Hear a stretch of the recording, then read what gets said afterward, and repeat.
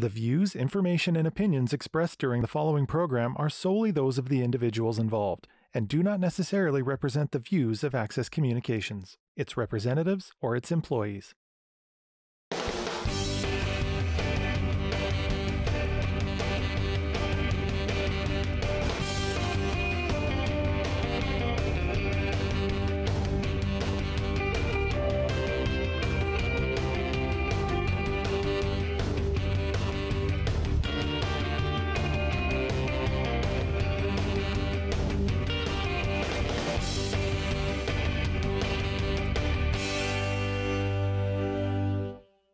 It's Bob here, and we're at Cruisin', and it's the Saskatchewan Ford Mercury Show, and this is one of three shows, and I've got the president with me, Mike Kyle. So you must be pleased today, Mike, with the turnout and the weather.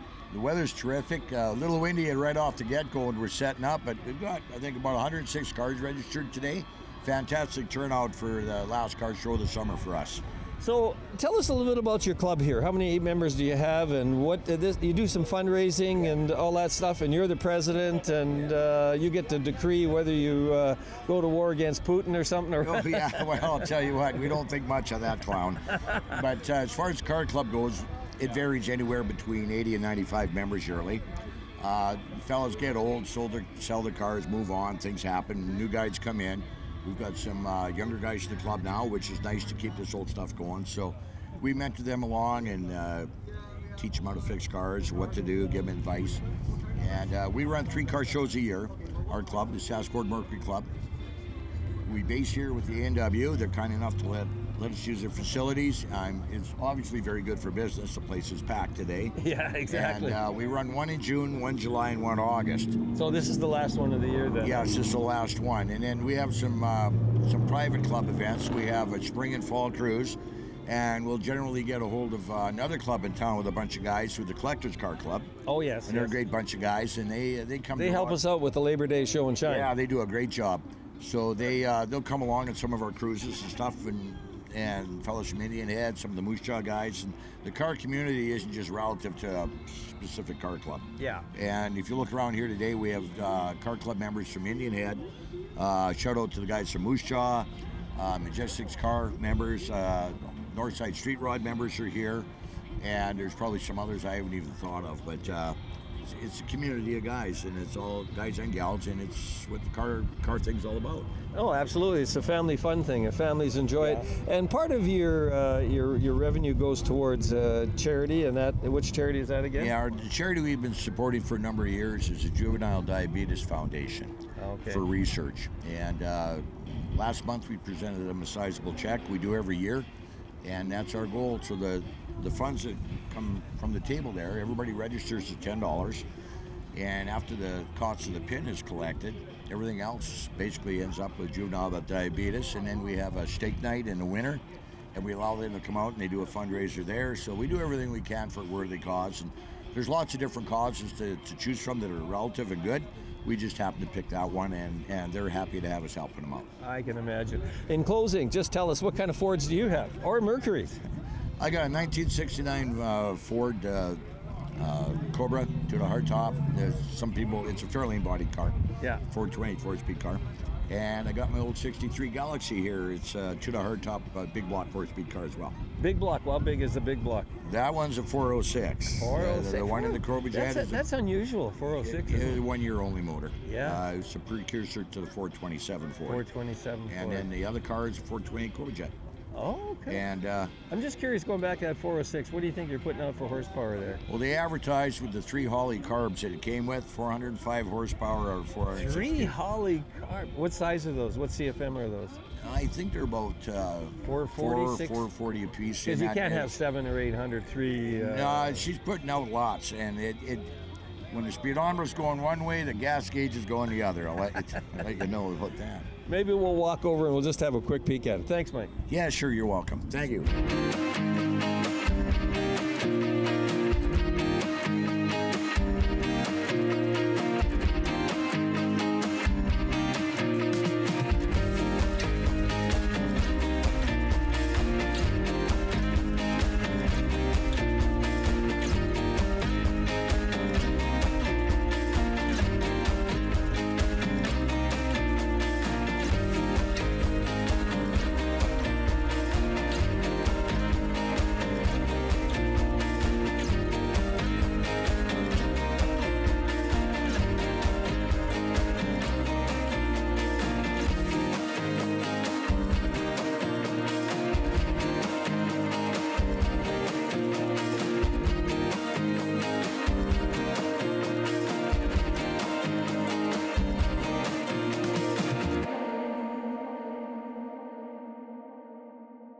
Did you find it? Was just on Kijiji? Yeah, just word of mouth from a friend of mine. He put me onto it, and I got kind of interviewed to even look at the car. And Interviewed? And, oh yeah, came out of a private collection from a guy that doesn't want everybody knowing his business. And uh, Oh, okay. yeah, it worked I out really well. Interviewed to buy the car. Yeah, That, that's so that's it was set up by a dear friend of mine. that- Yeah, that no, that's good. car. Some of these cars, you know, they just hide out in different people's collections and cars. You never see them hit the street. Well, you know, the all of a worst thing for these cars, these old cars, they got to be driven on a regular basis. They do. Uh, you got carburetors dry out, fuel systems go bad, uh, brakes go bad, all kinds of issues. But if you if you get them out and get them hot once in a while, put some fresh fuel, fuel them, and throw them, get them out in the highway, warm them up, Yes. clear out the cylinders. They'll give you everyday service like they did when you and I were young guys. Yeah, no, you know. that's right, so you got to drive them. I like Yeah. to drive at least once a week. I'll come like- in for coffee with my car buddies, and Yeah. and I live out of town uh, 10 miles, so get a good cruise warm. in. Yeah, cruise in. It's like having a horse. If you let it sit around in the field, do nothing, can't perform. yeah, yeah. Come in, kill a few bugs, go home, clean it off again. it's all fun. I love it. I love the bench seat on this. That's what. Yeah, I that's like. kind of kind of know, neat the way they did nothing it. wrong with buckets and all that stuff, and I love that. I've had cars with. Well, these are comfortable. It's like Yeah. driving an old half ton. You know, you can drive all day yeah, long with a bench kind- seat in a it- truck. well, I used to call it that living room ride. You know, you're Yeah. just sitting in your mom and dad's living room, and uh, it's a really unusual color, but it appeals to me. Yeah, it is different isn't it. Is that that's not uh, right from OEM, is it? Yeah, that's factory color in the car. But it's not the original paint, though. Huh? It's been repainted once, and it's Yeah. just a driver quality paint be- job. yeah, it's not yeah, the best, but it's. I like that driver quality paint job. It's good. Works for me. A 10 footer. A 10 foot. No, it's more than a 10 footer. I can see that. I love this. Is this stainless on here? Yeah, that that's, chrome? that that would be. Uh, I think that's chrome actually. Yeah. You know, I just like sometimes they use they use. Well, this would be stainless, wouldn't it? Yeah, this is stainless here. Stainless. And You know, sometimes it it's hard to tell a difference between stainless and chrome if you get it really polished Well, up. the idea back in the day was that was a jet age, eh? So Ford had in there from '62 or so up with T-birds and Galaxies. They all had the big round taillights, uh, emulate like uh, Oh, yeah, the thrust, uh, flame thr- out with your the thrust coming out of a jet's rear end or something. But and then the name Galaxie, and you know they were looking for that, and they, well, It's they had one they called the Starliner. Yeah. You know, and then you got your Galaxie, and you know that was kind of the theme and you know going. the thing is, these these a lot of these galaxies and uh, were race cars also in NASCAR. Well, that's how saw, this- I saw one at Goodwood the other Yeah. day on uh, YouTube. They were racing a car like this. Well, that's how this motor came to be. See, they're running 406s against the Chevy 409s in NASCAR. Oh, So they cast a 390 block, made it beefier, so they could bore it out for bigger cylinders. That's how you got 406 cubes. And then they put Oh. a solid lifter motor in it, cast iron uh, exhaust manifolds, three uh, three two barrel Holleys, and that's how they came up with 405 horsepower. Came out with a So they car. ran this motor for one year, and it was available to the public, like this car has. Yes. Then Ford boarded out another 200,000, came out with the famous 427. Ooh. So this is the basis of that engine. Okay. But they only made this motor for a year. That's why That's a lot of building people. block of the 427. Yeah, they aren't familiar then with you this have the motor. 428 and then a 429. Yeah, well, the 428 is a derivative of the uh, the FE motors. They started out at the 58, and FE stood for Ford Edsel. Oh, okay. Okay, and uh, they started as a 332, and then changes over the years right up to the 428 Cobra Jet. Yes. And that included the 427, the 390, the 360, the Where's the 330. 429 come in there? That is a different motor series. That's a different engine block. Okay, different And the block. 460 and the 429 are the same engine. They're totally different than the FE block That's a series. Lincoln, big Lincoln. Yeah, they're That's- totally different engine. Okay. Yeah. Okay. Yeah, and different plants, different engines, you know, coming out of this place and that place, Yeah. you know, Windsor, blah blah blah. I didn't even know them all. Some of these engines powered half tons right through the mid 70s. You know, they went Oh. started this engine series in 58 and went right to the mid 70s before they got rid of them. So yeah, like they've been Chevy. They around had a long two, time. 265, 285, 327, 350. Yeah. Yeah, and they were all terrific engines too, you know. Yeah. And if you're a Chevy follower, they had their family of motors too, and Yeah. one wasn't better than the other. They just leaked in different places. Yeah. No, exactly. Well, thanks for joining us, Mike. Really good and good education on the Ford here. Yeah, thank you very much, Bob. So I'm here with Bill Boomer, and we're just chilling behind his little trailer here, and it says "Tear Jerkers." what is this trailer? Tell us. Did you make this, or did you buy Oh, this? uh, I've been after this trailer for about 10 years. Uh, a friend of mine out in Victoria, BC, built it in 1979. Oh, it's a home built then, huh? Yeah, it's a home built trailer. He's It has a nice, nice fit and finish. I mean, it doesn't look like some home built thing to me. oh, it's, uh, it's the outside is all aluminum. Okay. Uh, it's period dated. It needs little TLC, but uh, it's a That's good what boat. makes it go, though, though, too. I mean, you've got. So tell us a little bit about. You've got a little counter here, which does that pull up or yeah, This year, it, it just uh, pulls out and you just drops down. it vertical in here. So this is your outdoor kitchen then. Yeah, So you got a little cook stove there, and you've got your uh, drawers for uh, utensils and canned food and that type of stuff. So have you actually taken it camping yet, Bill? Uh, um, I've I've slept in it, but You, not- you have slept. Oh in yeah, three times. I just, I just bought it two weeks ago, Oh really? and I Did you go all the way out to BC to get it? I left here on Sunday morning, and uh, I was in Victoria on Monday afternoon. Ooh, you're smoking. what were you driving? Uh, Dodge Dakota, Dodge Dakota. 340,000 kilometers on it. Oh, jeez. But this is really cool. So your buddy built it. Did he fabricate those bumpers on the down Uh, the these are, I think they're probably 1940 Ford.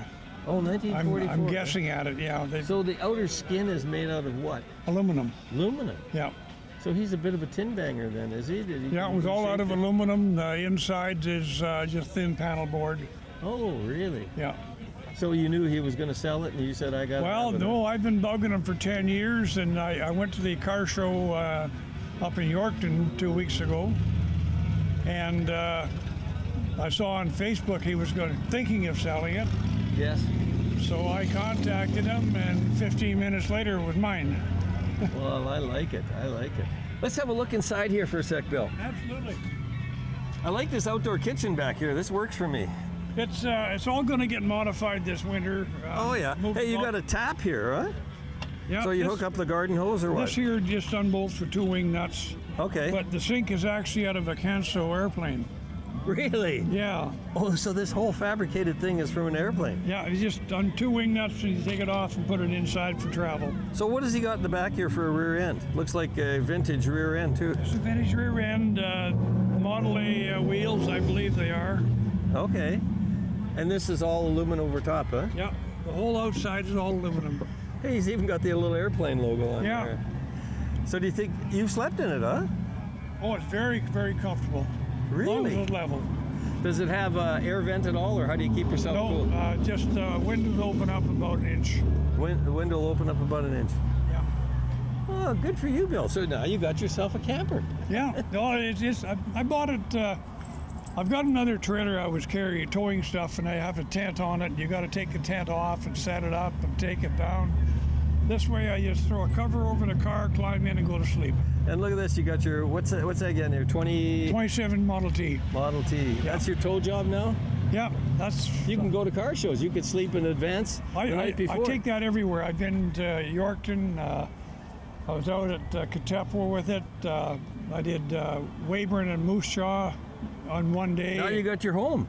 oh, I got my home. Yeah. Oh, good for you, Bill. Oh, thanks a lot. Appreciate it very much. Okay, we're here with Larry Smith, and he's got a trike. So tell us a little bit about your trike here. Well, uh, it's all original 70s era. The the uh, engine itself uh, I bought. Uh, it's a 78 Ironhead Harley Davidson, Okay. and uh, I actually uh, basically bought that and built the bike around it. So uh, everything here is all hand built, right from front to back. I did it all myself, upholstery, everything, the rear differential. I like your seat. Where did you find that seat for that, That old? was Amazon.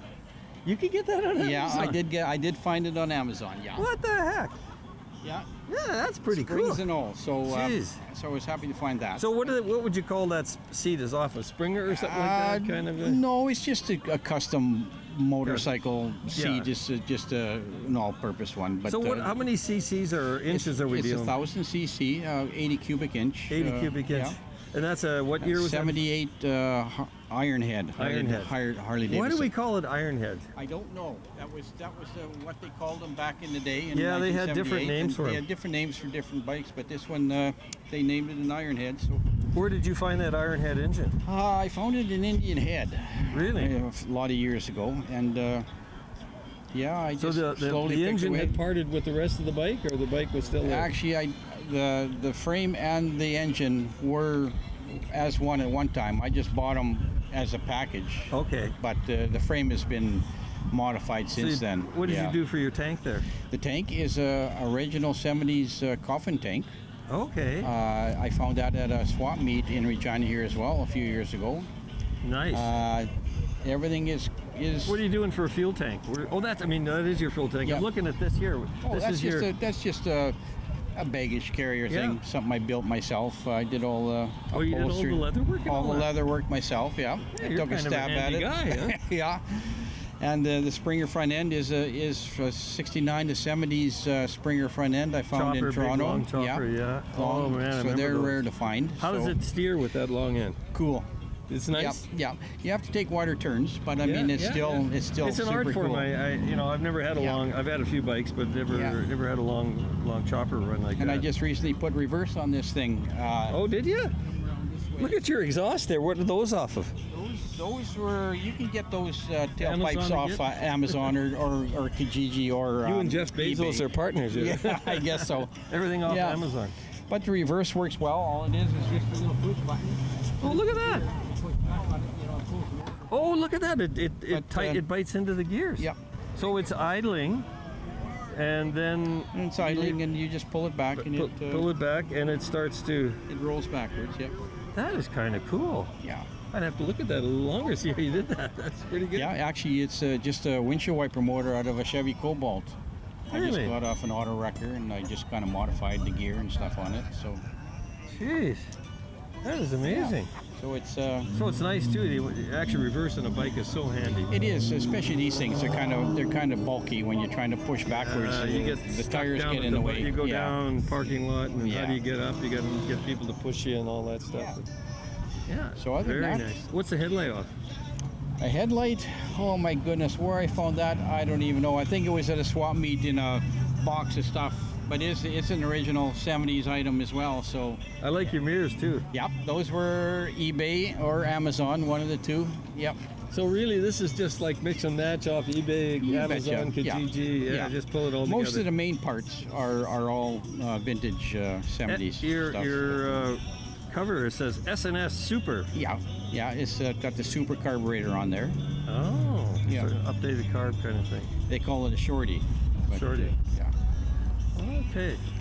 Well, thanks for showing us your, your bike here. It's very cool. Thank you. So we're here with Todd Dixon. He's got a 1966 Fairlane GT 90. 390. Three, 390. Yes, I can see the badging on there. There you go. Actually, it's interesting how Ford and uh, GM 390, 396, 409, 420, yeah, all that sort of stuff. So where did you find your car, Todd? Uh, I found this car through the uh, Sask Ford Mercury Club uh, that I'm a member of. Uh, I have another car that uh, was going to be getting some restoration work done on it, and our uh, club president, Mike Kyle, I told him I would uh, like to find a big block uh, Fairlane, a 66 or 7, to drive for the uh, next couple summers while the other one was getting restored. And uh, he knew the fellow that had this car, and uh, Mike had restored the car himself and uh, connected. Kyle? Mike, Mike- Kyle, yeah, yeah, who you would know, I think, Bob probably, yeah. yeah, yeah. And so. Uh, Also, Mike did this work. yeah, Mike did this work, and uh, he was able to connect me with the current, the then current owner, to uh, make a deal on the car, and uh, I'm thrilled I did. I love driving it.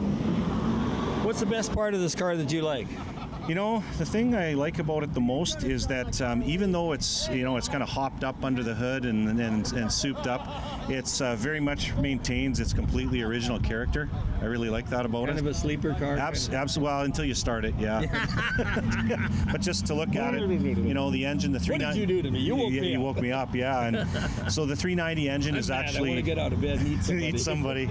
so the 390 is actually punched out and bored and stroked to um, about 430 cubic inches. Whoa! And uh, it's got a roller camshaft in it, higher compression. Let's have a look at that Yeah, there. sure. Yeah, you can tell we're at a car show here. There's a little bit of background sound. Absolutely. Oh, look at that thing. Yeah, very clean and. Uh, Mike's work is like impeccable. Yeah, absolutely, does fabulous job, and uh, you know I've had to just kind of do some regular maintenance along the way, with a little more TLC from Mike here and there. But uh, car's running really, really well, and I'm really, really happy with it. The car is a four-speed transmission. What are they? Is that Gran Turismo? Yeah, Gran- that's what Gran a lot of- Touring, Gran and, Touring, uh, Gran Turismo. Oh, if look at the carpet it- in there. That's beautiful. If it was an automatic, it would be called a GTA. Gran Turismo Automatic, automatic. yeah. Okay, yeah, gotcha. Beautiful. What kind of transmission is in there? It's a four-speed, uh, what they call top loader transmission. So very, Why do very. they call it top loader? uh, it has to do with the way that the gears, if I understand it correctly, the way Drop that the uh, gears sync? are dropping and everything, and uh, okay. and top uh, loader, yeah. thing. Side So- oiler, top oiler. but yeah, quite yeah. uh, quite bulletproof apparently, and uh, not that I you know drive it to the twilight zone trying to break the thing, but twilight zone. yeah, Oh man! And what are those wheels on there? those are the factory original uh, style uh, Oh, GT uh, wheels that came optional on the car. the chute kind of wheel. Yeah, and uh, these ones are on the back are actually slightly wider than the front ones. The way they the way they decided to do the car up when they restored it. Okay. But uh, they're red lines on there. yeah, the red line tires, which you know don't want to be burning those up too badly at five hundred dollars a pop. So Really? to try to yeah, they're they're not cheap. Okay, we're here with Grant McPherson, and you've got a Monte Carlo. I was almost going to say a, a Chevelle. I don't know why. I just uh, Pretty, was- they're pretty close. Yeah, I don't know why I was thinking that. So this is you got a 450. You got the rat in here. Yes, Wow. Did that come with it? that's stock. Yeah, it's it's got the SS package, so it's 454 with stock. Gee. So tell us a bit about your car. Where did you find this car? Actually, I bought it uh, in Watrous three years ago. The restoration was done in North Carolina. North Carolina. Yeah. Ooh, far away. Um, the guy bought it from said he had it for about 10 years and decided to sell it. So You I had an lucky. opportunity to buy it. Did that come with it? The little car actually did, but not the rotisserie, but the car. The the little, little rotisserie. Where'd you find car. that rotisserie? I just built it, Princess Auto. Oh, really? Yeah. What, what's driving it? A little little, electric. little six volt electric motor. And what's it powered by? How do you? Uh, battery actually behind the battery. oh, you got another battery behind the battery. Yeah, yeah. That car is so clean, you could eat off the engine compartment. Yeah, it takes takes a while to keep keep them clean for sure. so, what the history of the car came from North Carolina, did it? Yeah, that's where the restoration restoration was done. It was originally uh, built in California, Okay. sold new out of Phoenix, Arizona. Really? So it's yeah rust free, pretty pretty clean car. So this is the SS Z20 option. What do we mean by the Z20 option? I'm just reading from your stuff there. Uh, Z20 gave probably it's all listed on there. Uh, Okay. Gave you a 360 horse engine, turbo 400, and a 12 volt. L- LS5 engine, yeah. Yeah. Turbo 400 transmission, bulletproof transmission, 12 volt differential, automatic level control. It's like Cadillac kind That's of That's a little different actually. It is similar to Cadillac. That's a gold gold tank on there. Oh, that's a pretty big one. That's a little It's- compressor, is it? It's a vacuum operated compressor, which is kind of strange. Yeah, no, but that's that's interesting. Yeah, so Probably it looks a little beefier than some of the little compressors I've seen with little electric cars. ones. Yeah. Yeah. Yeah, and so if you throw something in the trunk or you get a couple extra riders in, it just lifts it back up to stock height. Ooh. And if, you, and if you get out, then it drops back down to Yeah. the right height again. So the Monte Carlo. So really, the Monte Carlo was built as a luxury car, but yet a kind of a muscle car. It was Yeah. sort of. Uh, That's how they marketed it. it lived in Yeah. both end, both worlds, didn't it? Yeah. Yep. So what's the color black? Any name to that, or is it just Tuxedo. black? Tuxedo black. Tuxedo black. Yeah. And I and hats off to you. You've got it. No streaks, no nothing, no dust. Yeah. It looks great today. No, thanks. And you've got that ratchet shifter or that type of. Yeah, that's all, all stock. Yeah, it's all stock. So you know, I'm just trying to think. When this car came out, if a guy didn't want a Chevelle and he was a little maybe looking for a little classier ride, he would go for a Monte Carlo then. I think so. Yeah, kind of high. I, I, was trying to figure out their marketing GM. You know, they Well, kind of yeah. niche marketing. Yeah. yeah, it was, was marketed as a gentleman's muscle car. Gentleman's Yeah. muscle car. Yeah. That that makes sense. Yeah. So you kind of fool people. Huh? You're going down the road and you think, ah, there's Grandpa. No, boom. Yeah, that's why they kept the insignia quite small. That's the only markings on the whole Oh, car. 454. Yeah. So if you weren't looking right, Yeah, you could up. get smoked. Yep.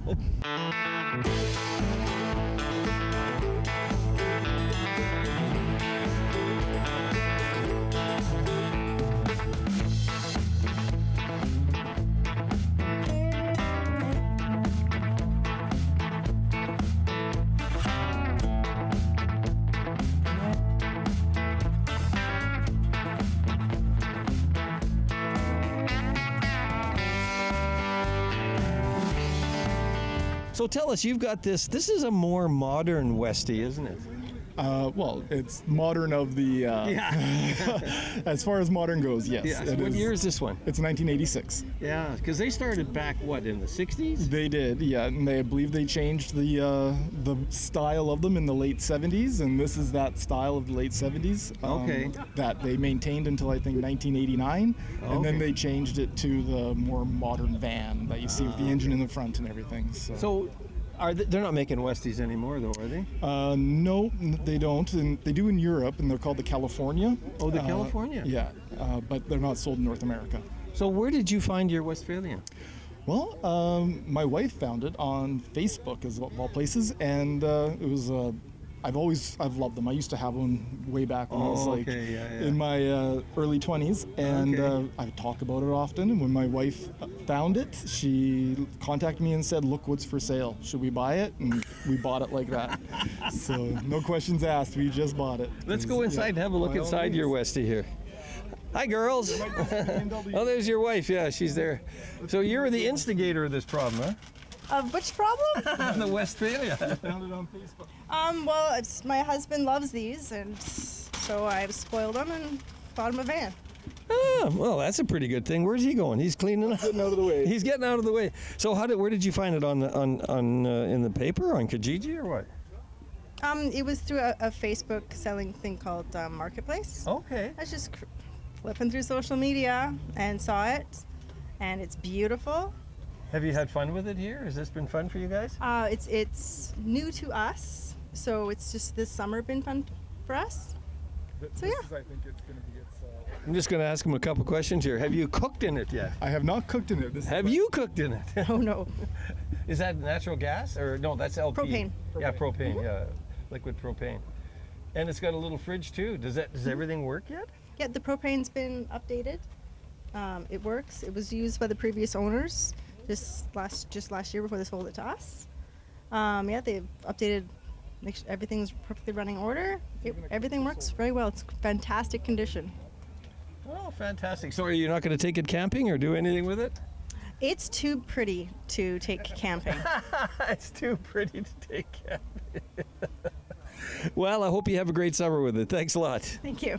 Hey, we're here with Neil Morrison. He's got a 92 Ford XLT extended cab. Yes, extended cab, yeah. I had a. Ford 150. No, uh, it wasn't a 73, 74. I don't know if they called it a 150 or 100. I can't remember. Yeah, it might have been a 100 back Yeah, I then. think it was yeah. 100. So Yeah. this is a 150. Yep. Beautiful truck. Thank you. So where'd you get your truck?